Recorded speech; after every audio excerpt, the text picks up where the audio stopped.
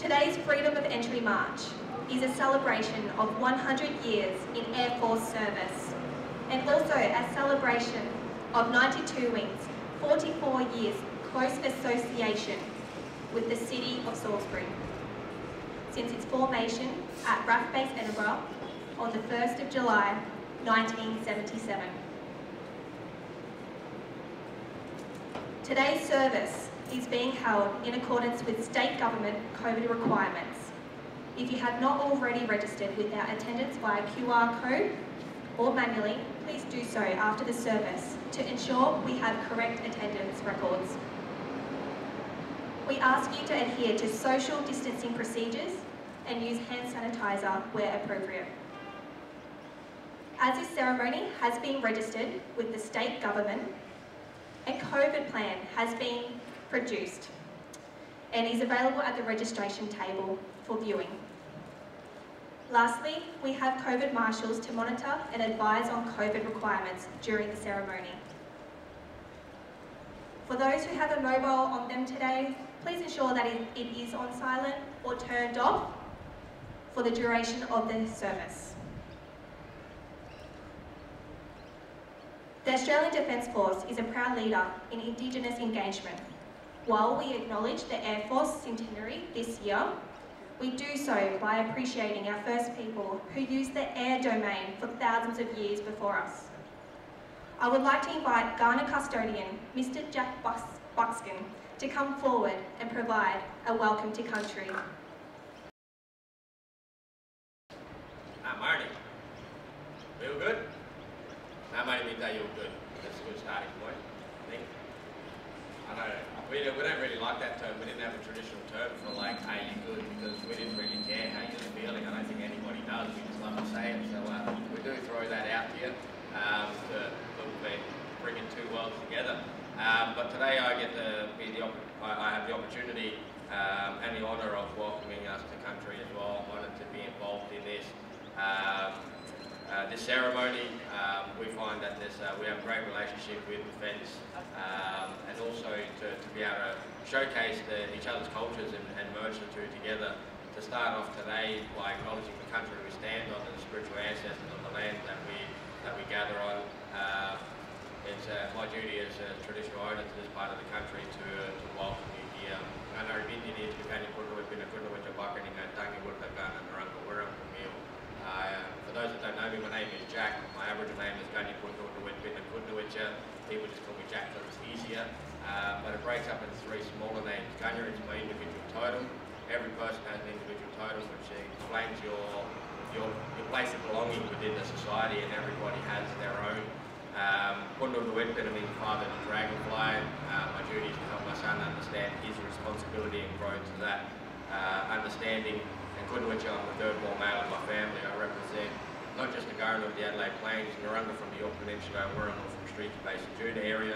Today we stand on Kaurna country, Yachi Wangandu, Kaurna Yarka, Tikandi, uh, and I welcome you here to this part of the country. Marujangan Kukyarna, Morka, Kukanmini, Yalana, Kawanga, Mani, the Portingat, Yarka.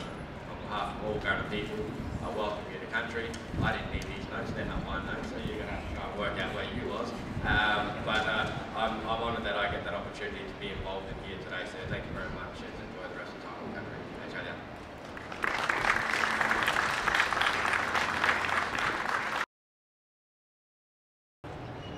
The granting of the freedom of the city stems from medieval Europe.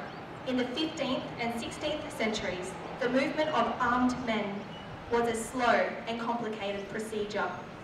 Along poor roads, to avoid difficult terrain between towns. Towns were often situated at points where roads converged. These towns were usually walled and if passing troops were not thought to be trustworthy, they could be prevented from entering the city for replenishment and rest. It was therefore important for the military forces to gain the confidence and trust of the citizens of these key cities the gain and gained the right for armed personnel to enter the city and pass through. This privilege was known as the freedom of the city. Over centuries, the original necessity for the freedom lessened, and the granting of it became rare, making it a higher honour. Today, while the tradition has no intrinsic or material value, the privilege of marching through the city with swords drawn, drums beating, and bands playing has become the highest compliment that a city council can bestow on a military unit. It is a privilege extended not only military units and generally to those who have had a close association with the city or shire in question. Once granted, these units then have the right to exercise freedom of entry. Accordingly, 92 Wing is honoured to be able to march through the streets of Salisbury at the invitation of the Mayor of Salisbury during 2021, the Air Force Centenary. Ladies and gentlemen, the Mayor of Salisbury and Superintendent Buckley are moving to John Street, where they will call 92 Wing to a halt. 92 Wing have stepped off from Pioneer Park, and they will march along Commercial Street and John Street, making their way here to the Salisbury Community Hub. Upon arrival, 92 Wing will be challenged. The 92 Wing Warrant Officer, Suzanne Hall, will show 92 Wing's right to entry to Salisbury by displaying the original Charter of Freedom of Entry, which was bestowed upon RAAF Base Edinburgh in 1988. Superintendent Buckley will allow 92 Wing to proceed.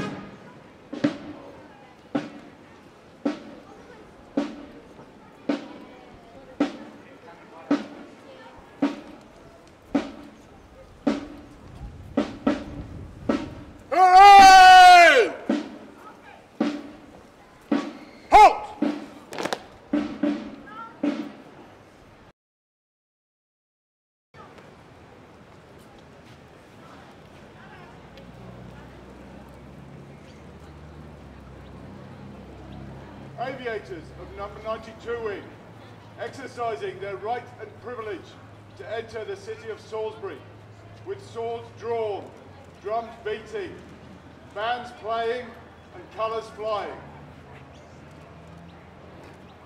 I recognise your privilege and right. Pass aviators of number 92 wing with Mayor and Council authority.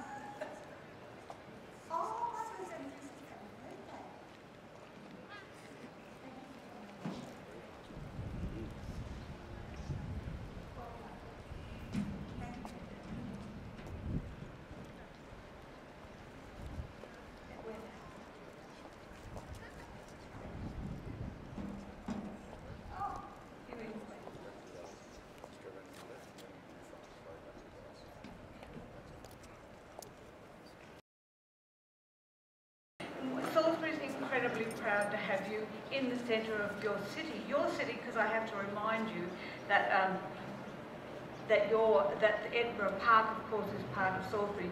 So we are wonderfully proud to have you march through our city and be here on this very special day. I have to say another thing of my bucket list. How exciting is it for me to be here speaking to you all? I should probably read my speech, but I've already gone past it. So I'm pleased that we can celebrate together as part of the 100 years celebration. 100 years celebration. That's very special. It deserves to be celebrated and it deserves to be celebrated here in our wonderful city. As we continue, continue to acknowledge the amazing work being done by the men and women serving today, who choose to serve, who make that sacrifice, who march off to do things that we probably wouldn't want to think about, that is your option, that is your choice, and we are very grateful. Thank you so much for choosing that career that will keep us safe forever. Thank you very much, all of you.